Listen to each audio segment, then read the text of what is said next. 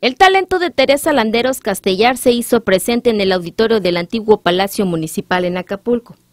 El tecladista con discapacidad deleitó a los presentes con melodías de diversos autores que hicieron pasar una agradable tarde a los asistentes.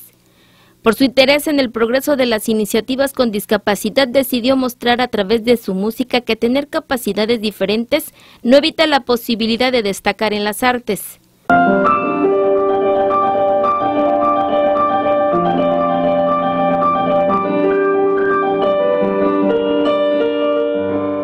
Y ese es el propósito del concierto, ¿no? El, hacer el esfuerzo eh, sin recursos, ¿no?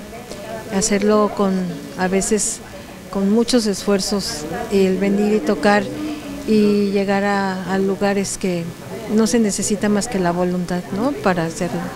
Temas de los Beatles, popurrís mexicanos y canciones típicas de Guerrero, así como una melodía de su autoría, fueron parte del repertorio de Teresa Landeros para los asistentes.